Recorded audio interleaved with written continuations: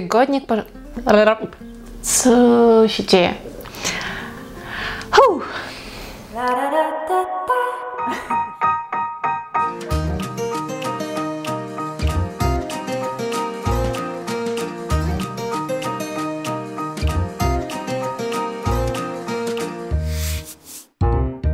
Cześć! Witam Was na kanale o życiu w Polsce. Mam na imię Helen Mazanowa i dzisiaj będzie rubryczka Tygodnik Pozytywnego Myślenia.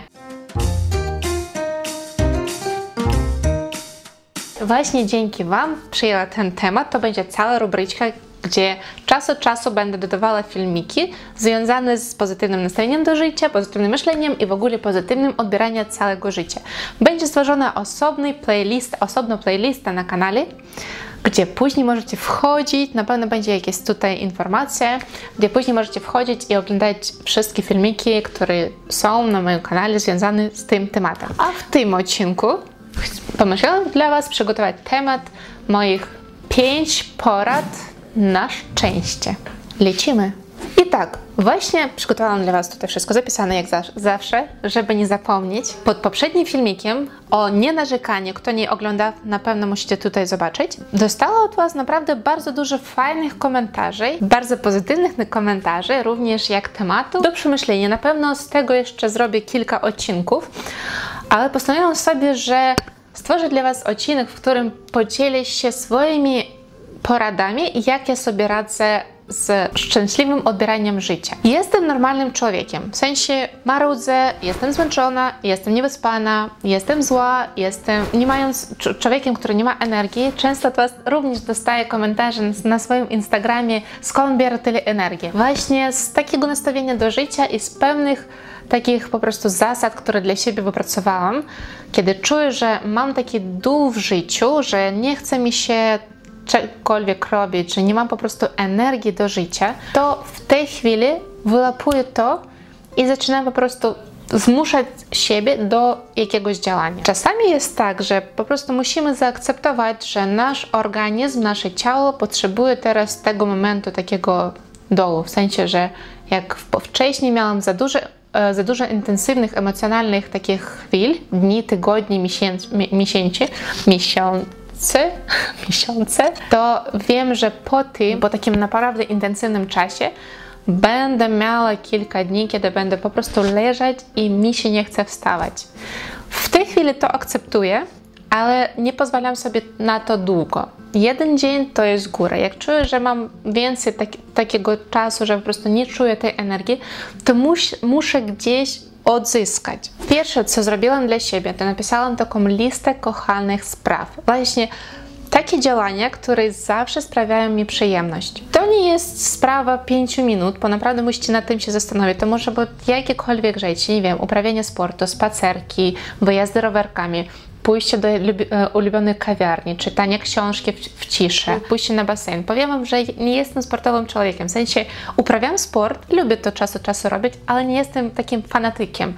Dla mnie pójść na salę gimnastyczną to jest taki po prostu wy, wysiłek e, fizyczny. W sensie ja wiem, że to jest dobrze dla mojego ciała, dobrze do, dla mojego zdrowia, ale emocjonalnie to nie sprawia mi przyjemności, aż takiej, żeby po prostu spędzać tam godzinami, ale czas od czasu robię sobie takie, takie cykły ćwiczeń, baseny, ale bardzo, bardzo lubię spacerki i to może być gdziekolwiek, na mieście, w lesie, w parku, na, na wyspie, po prostu gdziekolwiek. Wiem, że jak czuję taki moment, że po prostu nie mam energii i po prostu wszystko mnie męczy, to ustalam sobie taki czas odpoczynku i relaksu, jak jest dobra pogoda, taka jak teraz na przykład wiosną, no to słońce, ciepło, no po prostu to daje jeszcze więcej energii. To wychodzę po prostu z domu i staram się o godzinę gdzieś tam spacerować, albo jeździć rowerkiem, albo rolkami, żeby jakoś siebie po prostu zregenerować, odświeżyć odnowić.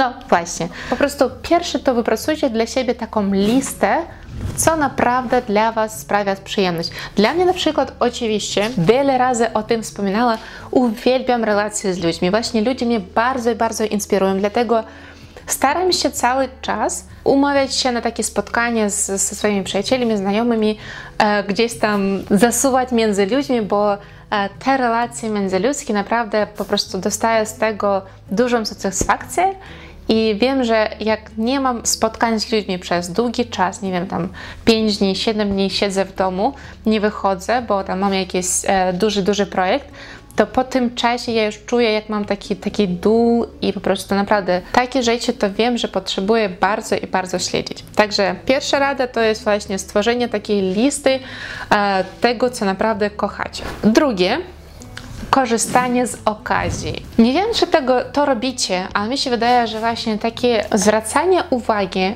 na te okazje, które macie dookoła siebie. Nie wiem, jak macie, jak powtarzam już kolejny raz, dobra pogoda dzisiaj, wolna godzinka, gdzie można gdzieś coś e, zrobić, to co naprawdę lubisz. Nie, nie obowiązkowo mieć dół, żeby coś zrobić, możesz mieć normalny dzień i po prostu tą energię e, wewnętrzną rege, regenerować. Fajny jakiś festiwal, premiera w kinie, po prostu szukać takie, łapać okazje życia, których, które mogą być niezaplanowane, ale istnieją dookoła i korzystać z tego. I z tego się rodzi spontaniczność. Moja trzecia rada, nie, nie to, moja trzecia, trzecia rada to jest właśnie spontaniczność. Nie wiem jak dla Was, napiszcie mnie w komentarze, ale dla mnie spontaniczność to naprawdę jest coś takiego, co daje niesamowitą ilość energii i po prostu szczęścia i radości. Wiem, że nie dla każdego to pasuje, bo są ludzie, którzy na odwrót lubią bardzo, bardzo, bardzo zaplanowane życie i jak coś się pojawia spontanicznego życia, to w życiu, to po prostu powoduje, że oni wpadają w jakieś takie trochę panikę, strach, lęki i, i, i w ogóle.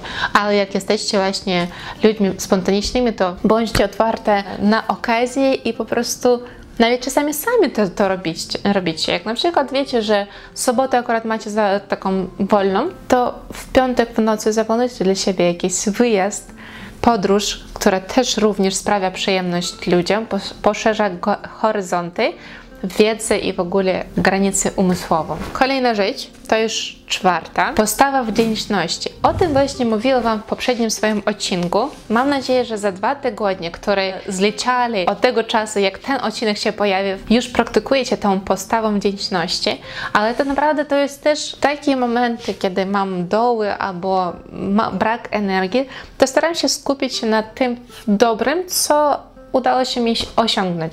Najczęściej doły mam wtedy, jak na przykład zaplanowałam sobie coś, postawiłam jakąś cel i jakoś to ciężej mi idzie, aniż, e, aniż chciałam. Ostatnie. Piąta moja porada, rozwijaj siebie. Właśnie rozwój osobowości od różnych, różnych stron, umysłowe, emocjonalne, energetyczne, duchowo, to spowoduje, że człowiek cały czas się roz, rozwijanie siebie, powoduje, że rozwija siebie.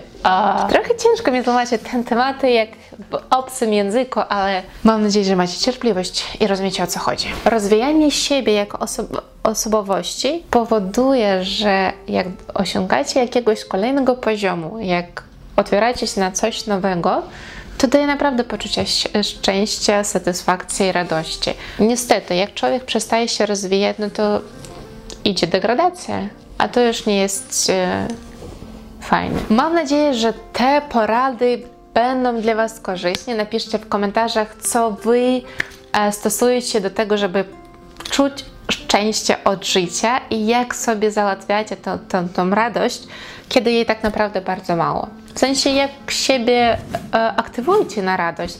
Jestem bardzo ciekawa i najlepszy komentarz przy, będę przypięty pod tym filmikiem, także korzystajcie z okazji. Dziękuję bardzo, że oglądaliście ten odcinek, że w ogóle ten temat tygodnia pozytywnego myślenia fajnie się odebrali i bardzo Wam się podoba.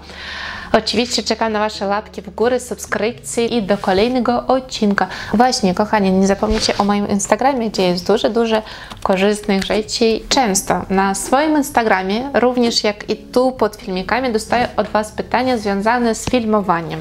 W czym montuję, na, na co nagrywam, co używam do filmowania, jaki sprzęt i takie, takie różne pytania. I właśnie na swoim Instagramie od jakiegoś czasu już prowadzę taką rubryczkę, gdzie tłumaczę, jak filmować, na co, na co zwrócić uwagę i jeśli jesteście początkującymi vlogerami, filmowcami albo w ogóle ten temat Was interesuje, bo macie jakieś pytania, to zapraszam na Instagram, gdzie możecie pytać, będę odpowiadała, pisała i właśnie tam pokazuję duże dużo rzeczy ze swojego życia. Dziękuję bardzo i do kolejnego odcinka, do kolejnego poniedziałku. Pa! Miłego tygodnia!